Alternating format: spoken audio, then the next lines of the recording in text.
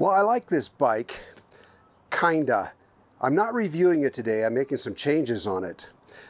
This bike is a Engwe folding e-bike, and if you need a folding e-bike, then you need a folding e-bike. I don't. And the thing that I don't like about this bike is this stem. When I'm riding this thing, I, I feel like I'm trying to steer a pogo stick or something. The handlebars are narrow and, and they're tall like this, and it just feels funny. And, and it's because of the handlebars being, the grips being so close together, the steering is kind of squirrely on it. But it's one of those compromises that you got to make if you get a folding e-bike. And like I said, if you need a folding e-bike, nothing else compares because this, this bugger folds up really small. But I'm not keeping this bike because it folds up. I don't need a folder.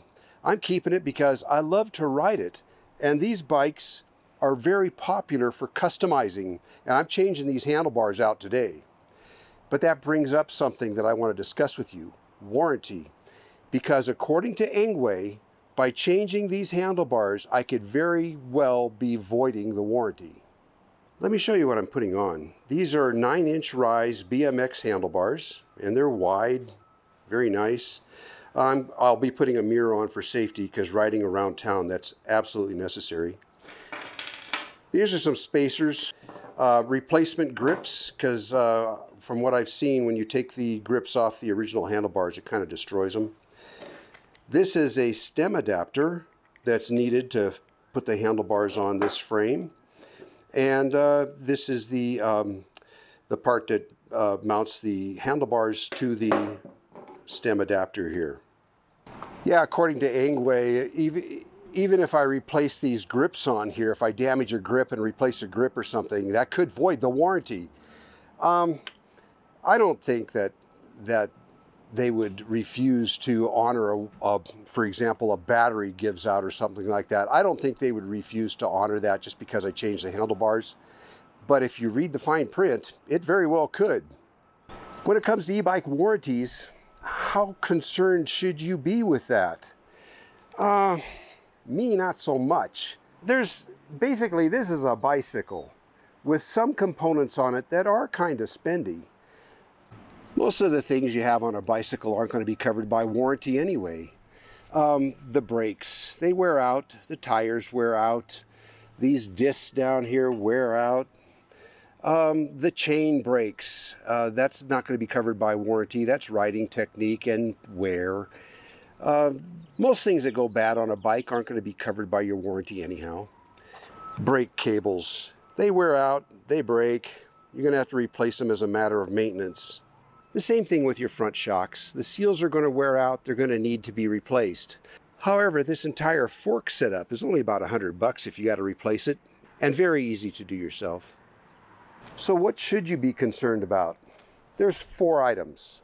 Well, the Engwe EP2 Pro that I just showed you is a nice bike and it's well built. And if it wasn't, I wouldn't have been modifying it to suit the family better.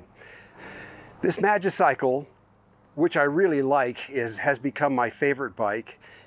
The quality is here. I like the operating system of the controller better than the other bikes, but there's also the warranty and the customer service. So I showed you the things that aren't going to be covered by warranty. There's other things too, like fading paint and dents and scratches, and it stands to reason, you know, just normal wear and tear. Cables, brakes, chains, tires, it's all just normal wear and tear. What do you need to worry about though on a warranty? Well, to start out with, let me show you some things. What is it that's particular to an e-bike? Well, to start out with, there's the display up here. These are, these are, you know, just totally e-bike related, you know, speed and your pedal assist settings and all that. That display plugs in right here and it just comes over to this selector here. And this whole thing is probably 50 or 60 bucks if you had to buy it. So I don't think that's something you need to worry about on warranty so much. But being electronic, you never know. Moving down from there is the battery. Definitely something that only fits this bike, made by Magicycle. Now these batteries on any e-bike are probably going to run you any, depending on size, they're probably going to run you anywhere from 350 to $600 for a battery. That battery is a lithium battery. You should be able to get about eight years out of it with normal riding. The likelihood of something going wrong with it? Yeah, I don't know. I've never had a lithium battery go bad, but once again, it's electronic. Moving down from there is the controller right here. That's what controls the program for the whole bike. That's what senses what the pedals need and and everything and that controller is something that that's electronic that could go out. I imagine that's uh, a uh, hundred to two hundred dollars for a controller. I think 200 is more, way more than they than they cost though. There's a um, cadence sensor in here. It's just a little ring around the pedal and it hooks to the to the controller those are uh, really cheap and then the only other thing is the hub motor in the back that's a 750 watt hub motor, and those generally run a couple hundred dollars. They're not that expensive. That is the one thing that can and will go out. Whether that hub drive goes out on you or not depends entirely on how you treat the bike. For example, if you're going up a really steep hill and you're depending on just throttle and it's a long hill, you can burn that motor up just by overheating you need to use pedal assist going up the hills and just help that motor out. Now those motors are geared. There's, there's gears inside. They're called a geared hub drive motor. And those gears can strip. And what makes those strip is if you're constantly using only throttle to get started from a stop. Like if you're in the city and every time you come to a stop, when you start out again, all you do is crank the throttle, it can put pressure on those gears and cause them to slip and then they'll start wearing out, start grinding the teeth off of them. Usually when you start out, always give it a little pedal assist or even just a little push with your leg just to get a little bit of forward motion going before you come in with your throttle. You'll do your motor wonders that way. And the third thing that'll destroy a motor is, boy, I discovered this. I didn't destroy a motor, but I heard an odd noise and I went, uh-oh, I know what that is. I was loaded down with gear on the back. I was camping and I was in a bit of a rut and I went to use the throttle to get it going and I heard it go, heard those gears go, tick, tick, you know, slip on each other. And I stopped and I went, what is that noise? Oh, I know what that is. That's not good. If you're in the wilds with one of these, get it out of the rut first before you come in with throttle and, you know, get it going that way. Just be careful with the hub motor and it'll last for years. You don't see people talking about these things going out. The motor, yeah, they can be rebuilt or you can just replace them. But as for display and battery and controller, I don't see too much online about those things uh, having faults or anything like that. But those are the things that you would consider using your warranty for. How's that warranty going to work? They're not going to send you a new bicycle any more than uh, if your car started, if your brand new car started having some problems or something. They're not just going to give you a new car, they're going to fix it. Um, kind of like that, only the company's far away, right? You're dealing with, a, most of the time you're going to be dealing with a US warehouse, but sometimes those parts are going to come out of China and you're going to have to wait for them. What they're going to do is they're going to determine what is wrong with your bike and you might have to send them photographs or something like that. And then they're going to send you a new part. Some companies charge you shipping on that new part. I don't know if Magicycle does or not. They're going to send you that new part and they're going to give you instructions on how to replace it.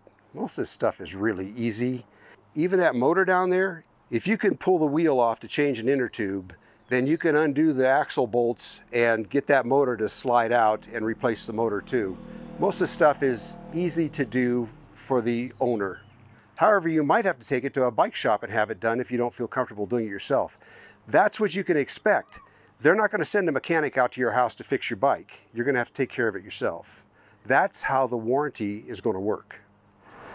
When I get these bikes in for review, all I can do is tell you how well the bike is made and if it operates the way that the book says, and my overall impressions of a bike customer service, before you buy a bike, you should do some research on that and see what their reputation is.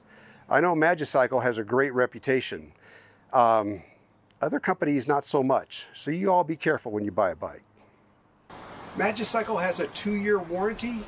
Some other e-bike companies, it's, it's less, and some of them, it's a lot less. Be sure and read the warranty. And and Magicycle's warranty reads manufacturing defects only and does not cover wear and tear or any type of abuse. Now, for example, that hub motor I was talking about, if you overload the bike and you're going up a long steep hill using throttle only and you burn it up, that's abuse because you should know enough not to do that. Most e-bike companies do not have transferable warranties, which means that if you buy it and then uh, several months later or something you just you decide to sell it, you can't transfer the warranty. Now most warranties that I've seen, they're about this long. The Magicycle one is a couple of pages long, but it spells everything out so that everything is clear. But the most important thing is before you buy, look at that information. It's easy to look up. It's right on their website under service. And then you look down you see warranty. You can look it up.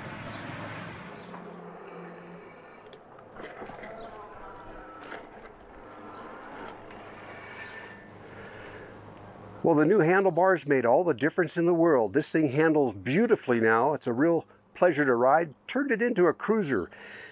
Do I think I've violated the warranty? I don't think so. I really don't. That would be bad business for Engwe to start doing things like that. And in today's electronic age, word travels fast. Now, I think it's a good company. I think they'll, they'll be okay with that. It'd only take me a half an hour to put the other handlebars back on if I wanted to, so what the heck. this is nice though. Hey guys, I hope you enjoyed the video and I hope I shared some knowledge with you that can help in your decision on buying an e-bike. If so, like, share, and subscribe. We'll see you around.